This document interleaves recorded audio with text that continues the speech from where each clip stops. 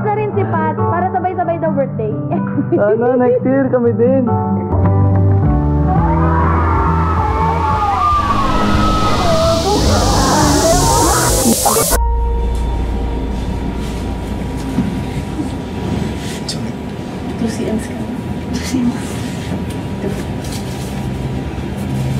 Ito si Enda siya daw.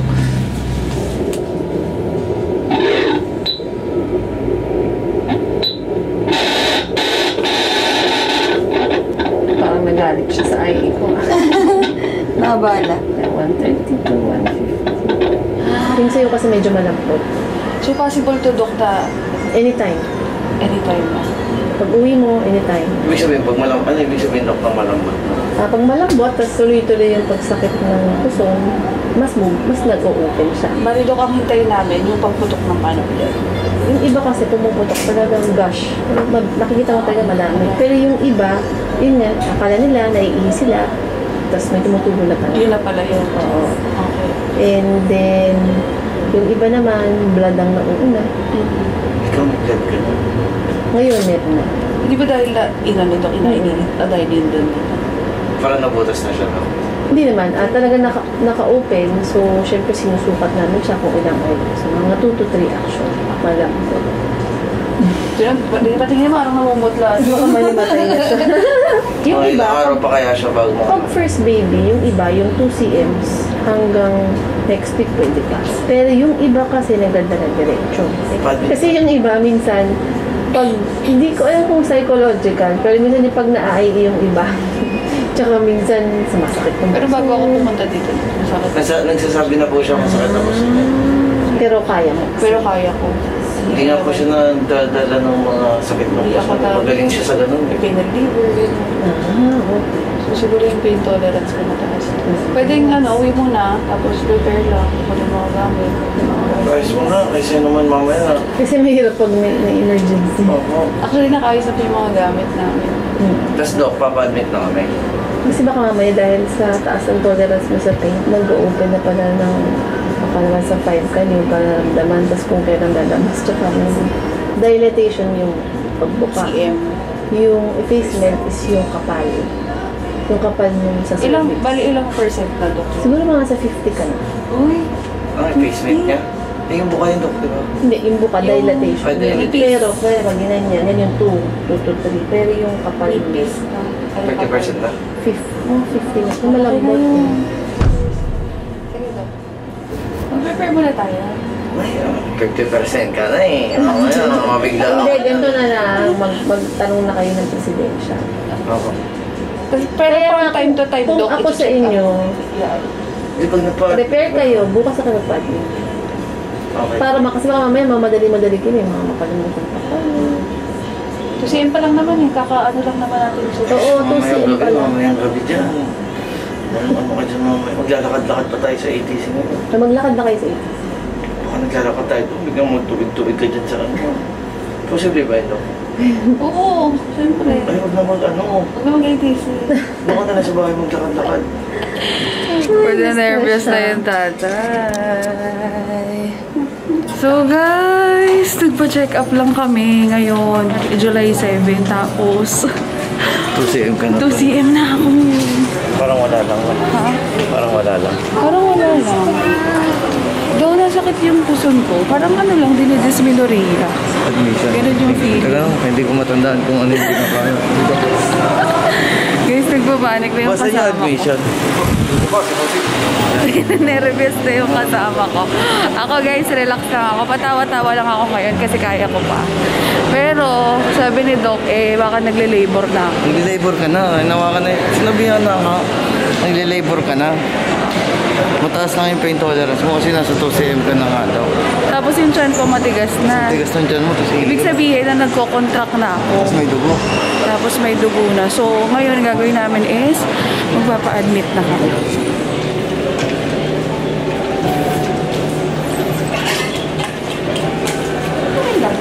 Wala pa po. Hindi na buka pa lang. Ah, ano to? Ba't For check-up lang po kasi ako. Pagka IE sa akin, 2CM na ako. Ah, Pili daw kung mag-bodies. Upo kasi naman mag-open. Guys! Sir, magkay ka ba? Relax lang. Hindi ko kailangan. Ano daw? Ang kabang nararamdaman. Kundi excitement lang. Hello, sir. Kailan yung last bowel movement mo? Um, kagabi. So guys, makanganak na ang bakla. Mga anak na ako guys. Naka 2 cm na ako. Sabi dito sa monitors, sabi ni nung nurse, nagko-contract na din ako. Pero hindi ko siya ganun na maramdaman. So ang ginagawa sa akin ngayon dito is chine-check yung aking um, yung, yung contraction, yung heartbeat ni baby, heartbeat ni Isla. Yung nagpa-check up ka lang, tapos bigla ka nag-labor ka na pala dyan. Siguro kinakabahan na si King. Ito na yung patient number 2. Hi! Ah, ano pong anong sakit niyo, ma'am? How are you, Daddy? Anong nararamdaman niyo?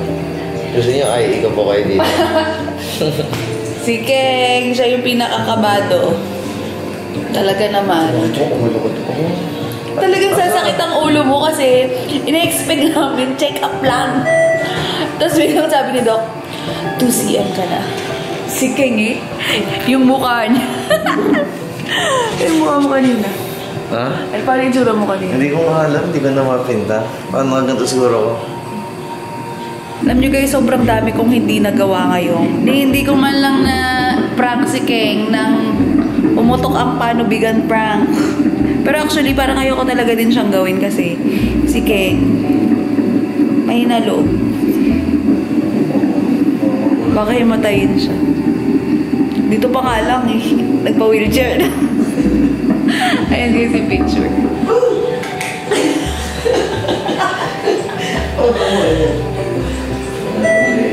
Check up lang kasi, Brady.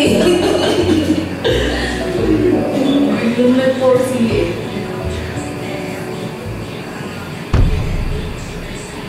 So guys, time check, 9 p.m. Ayan, tapos si BK, nag-dinner lang siya.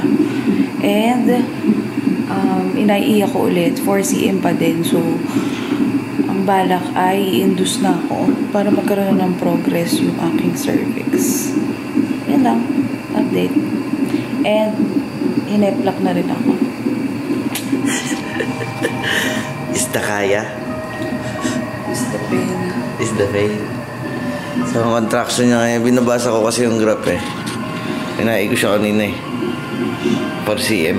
Per cm ka pa rin. Kaya mo yan, ma'am. Dito lang ako, ma'am. Napatawa ka lang siya guys kasi sasaktan siya. Hindi na ako natatawa. Parang maganda sa vlog. Aura. Yung aura face. Yung kanina. Paiyak na yung kanina. Update ko kayo mamaya kapag ah, labas na sa isla. O kaya kung may iba pa siyang mararamdaman. Hirap pala magbuntis mo. Naawa ako sa'yo. Ano yung exhale?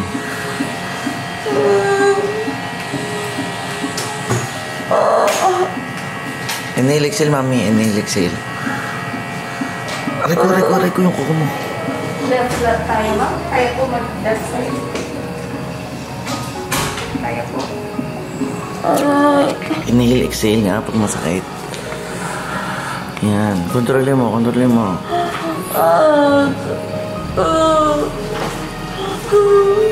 Inhale, sa ilong. Sa ilong, inhale, sa ilong.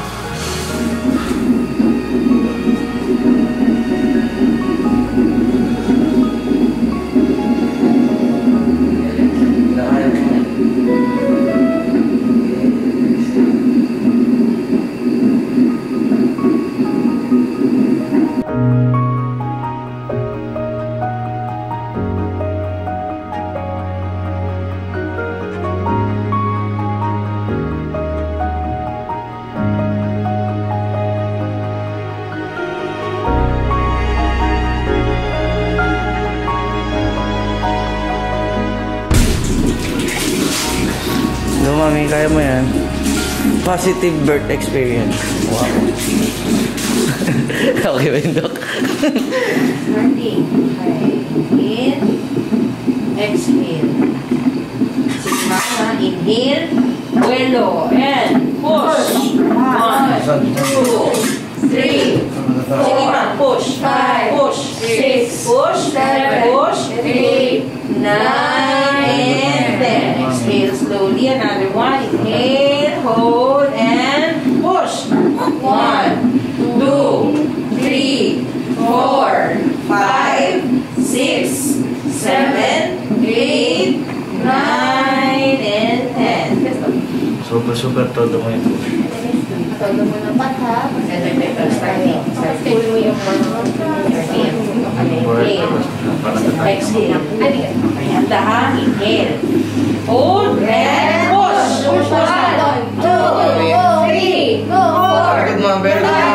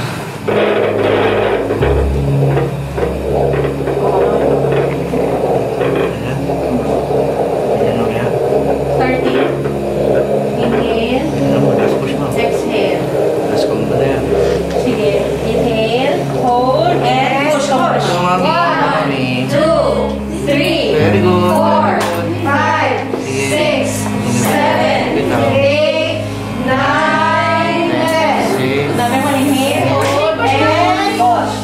One, two, Mami. Push, push, mami. Push, push, push, push. Huwag ka bigat. five, six, Go, go, go. Push. seven, nine,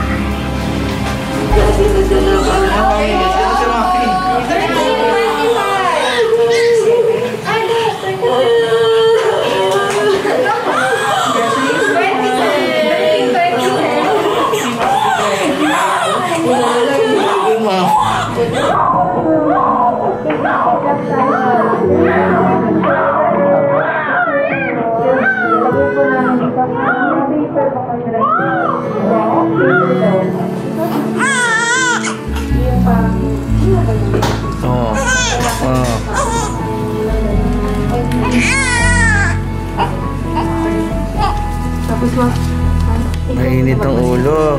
Ang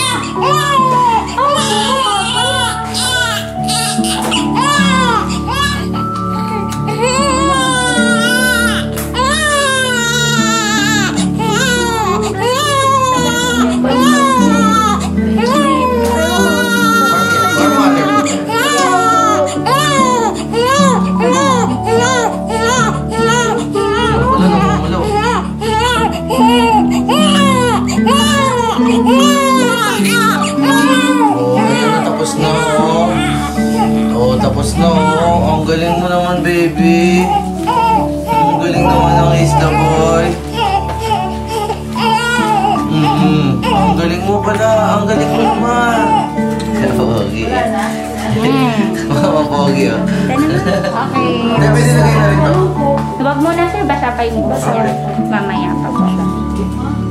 Wow, pogi na. Fresh! The baby. Pa yung namin tinanggal. Kasi na naman. Sino ka dyan?